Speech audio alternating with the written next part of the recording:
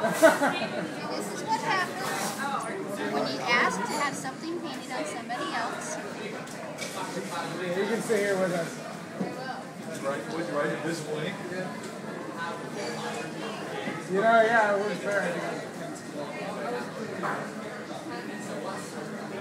Smile. I kept